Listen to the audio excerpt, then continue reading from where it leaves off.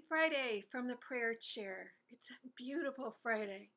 I hope you have a chance to get outside today and if not during the day to go outside at night if the sky is clear right now if you look in the east after dark you'll see a wonderful uh, kind of orange light in the sky and that would be Mars and if you look to the south you'll see a bright white light that's Jupiter and to the left and um, slightly above you'll see Saturn. So you can see Mars and Jupiter and Saturn when the sky is clear. So I hope you have a chance to do that. But um, that's not my main point today. I want to talk about a couple of opportunities coming our way this, this coming week. Sunday, St. Paul's is inviting us and anybody really uh, to participate in some discussions about the future of our churches. Change is coming we all know that the pre COVID world uh, that many of us loved is going to be changed when COVID is over.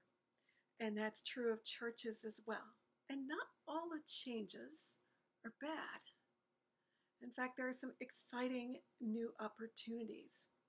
So, uh, for the next three Sundays, coffee hours over at St. Paul's will be focusing on the idea of a hybrid church that our post COVID church will not be necessarily uh, entirely in person, but will be a combination, a hybrid of online and in person participation. And technology is making it easy for people to participate on an equal footing, whether they're actually in the church building for worship or participating from home.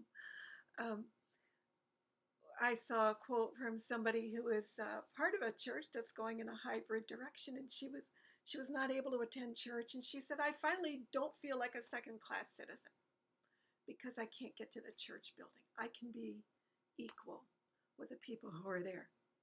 So uh, the the technology that is making all this possible is um, rapidly developing and coming down in price, and critical for us becoming easier to use.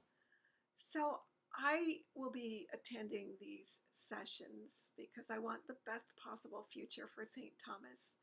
And uh, we will uh, have our, our usual um, coffee hour, but I would like to invite um, as many of us as possible to head over to St. Paul's.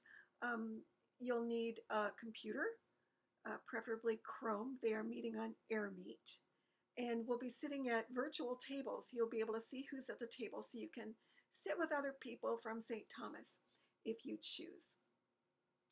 So that's one opportunity. A second opportunity is on Thursday, I am offering um, a Zoom session called Bridging the Political Divide with Parker Palmer.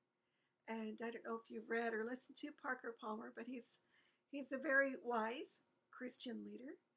And um, I've taken this little course that he's put out for free on Church Next. And there's a little video segments, and then we talk for a while, and a little more video, a little more talking. I got a lot out of it. And, um, you know, it's really tough when our family and friends, in particular, are uh, thinking very differently from the way we look at things. And, and there's so much acrimony and anger. And, uh, this little uh, session that we're doing on Thursday, I hope it's going to be helpful. It was to me to help me to walk uh, with grace and in peace in these times of division. So, two opportunities for you online one on Sunday, one on Thursday. And um, I wish you every blessing for your weekend and look forward to seeing you online.